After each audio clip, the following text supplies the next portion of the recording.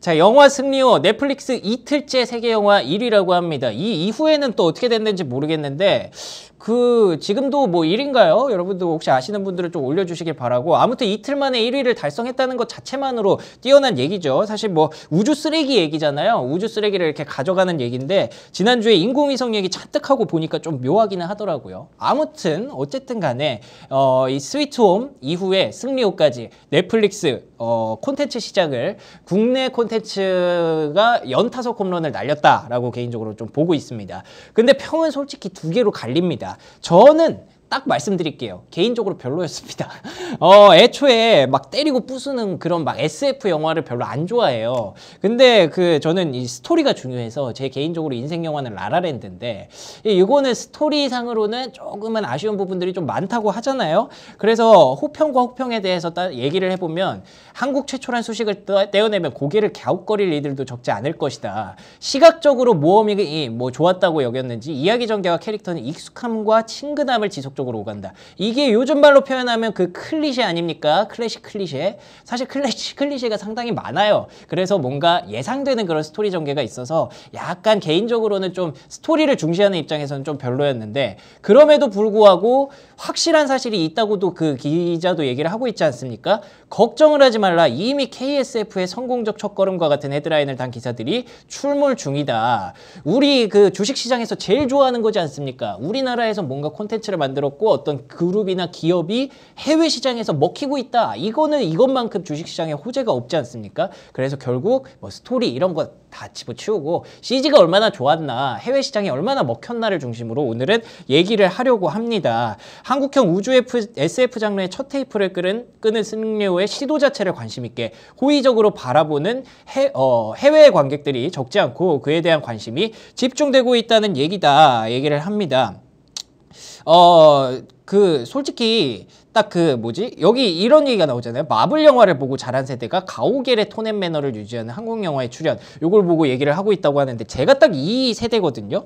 그 마블 영화 보면서 자란 세대인데 솔직히 말하면 제가 스토리는 좀 그랬다고 하지만 CG 자체는 이게 국내 영화인가 해외 영화인가 구분이 좀 안 되더라고요.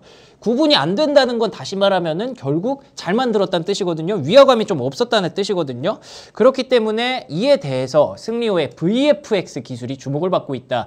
아예 그냥 종목 이름이 나와버리네요. 덱스터가 2,000컷 중에 70%를 담당했다고 하는데 VFX가 뭔가 하고 살펴봤더니 시각적인 특수 효과를 말한다고 합니다. visual effect인데 왜 FX가 들어가는지 모르겠어요. 자, 아무튼 CG는 VFX 안에 들어가는 하나의 갈래라고 하고요.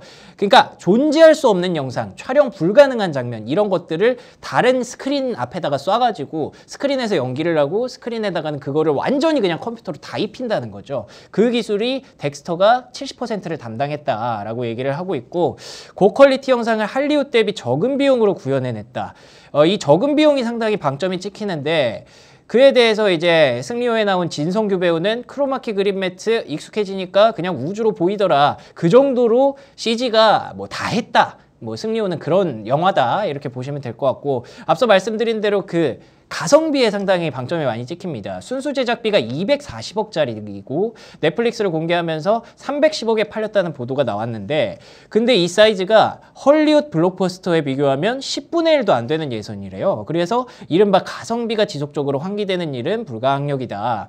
이에 대해서 얘기가 많습니다. 이렇게 쪽 10분의 1도 안 되는 예산인데 불구하고 어, CG를 어느 정도 어, 확실히 좀 뽑아냈다라는 거는 국내 CG 기업들에 대한 관심이 더 확대되지 않을까라는 기 기대감이 확산되는 그런 어, 효과를 가져왔고요. 그리고 저는 개인적으로 뭐 CG도 좋았지만 이쪽에 조금 더 흥미롭게 봤습니다. 승리호 웹툰이 카카오 페이지를 통해서 5개국에 동시 공개가 된다고 합니다. 보통 우리는 이제 그 웹툰이 웹툰에서 IP가 나오고 그걸 영화가 영화나 드라마가 사서 콘텐츠가 제작되는 경우가 있었는데 이번에는 오히려 이렇게 반대로 가더라고요.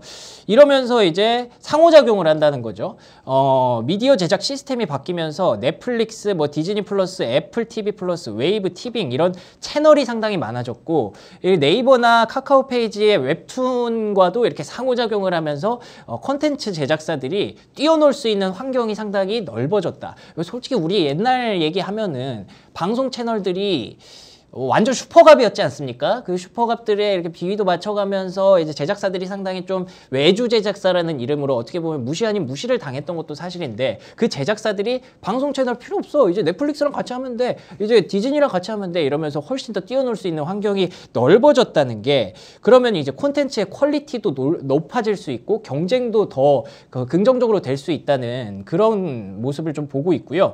그래서 이제 tentpole이 점점 더 활성화될 것이다라는 얘기가 나오고 있는 데 tentpole은 아시다시피 텐트 설치할 때 나- 만드는 이 폴대입니다.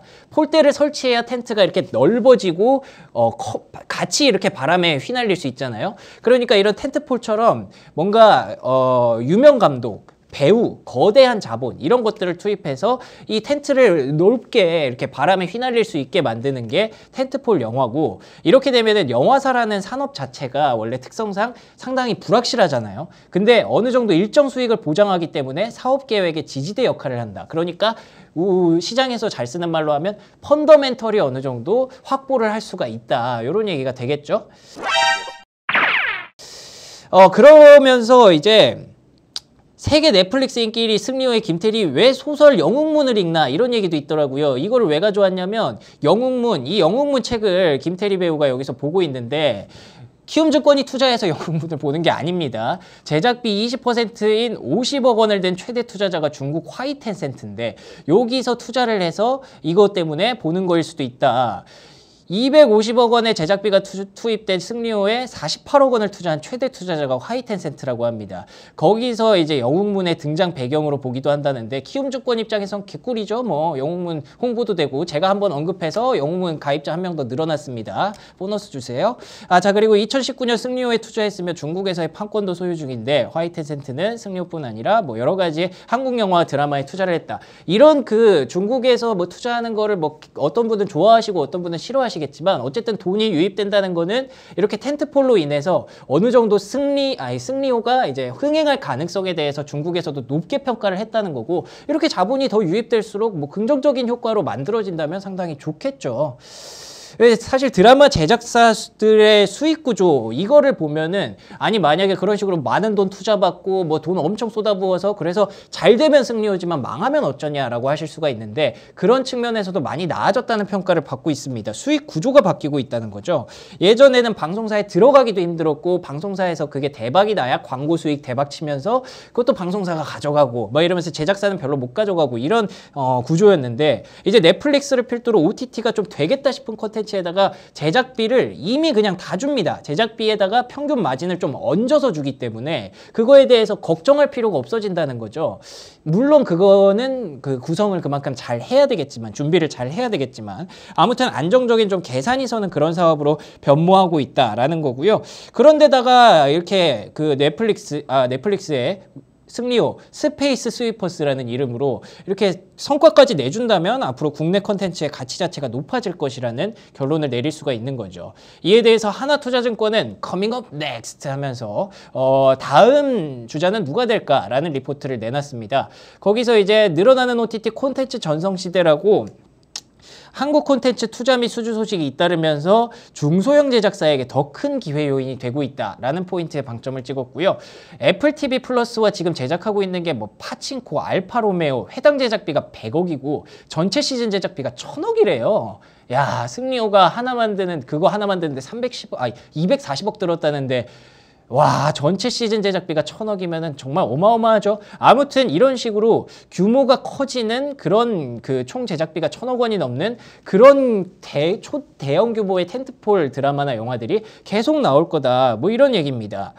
그리고 점차 대형화 프로젝트화가 되면서 콘텐츠 산업들이 다시 한번 주목을 받을 전망이다. 이렇게 얘기를 하고 있고요. 미나리와 같은 그 영화가 기생충과 유사한 행보를 걷고 있다라고 해서 미나리 가 뭐지 하고 찾아봤는데 미나리가 미국 영화 연구소가 선정한 10대 영화로 쾌거를 올랐다고 합니다. 미국으로 이주한 한인 가정의 이야기를 담은 영화인데 1980년대 아메리칸 드림을 찾아 나선 한국 이민자 가족의 이야기. 여기서 이제 그, 그 배우들이 뭐 여러 가지 상도 받고 있고 그래서 미국에서 또 주목을 하고 있다 그래서 목표가 오스카라고 하는데 과연 이 기생충의 뒤를 잇는 또 다른 이런 쾌거를 이룰 수 있을지 이 부분도 주목해 봐야 될 것 같고요. 단순히 그냥 미나리뿐만 아니라 우리는 이미 기생충의 나라, 아, 기생충의 나라 좀 이상하네. 오스카의 나라 그리고 BTS의 나라기 때문에 한국 엔터사와 콘텐츠사들이 이렇게 좋은 기회를 받아서 계속 더잘 뛰어놀 수 있는 환경이 만들어진다면 뭐 우리 투자하시는 분들 입장에서도 상당히 좋은 일이고요.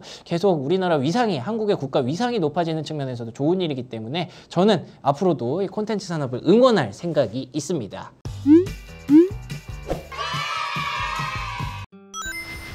미국 주식 투자도 역시 키움증권. 40달러 받고 미국 주식 키움증권에서 시작하세요. 투자 시 원금 손실에 유의하세요.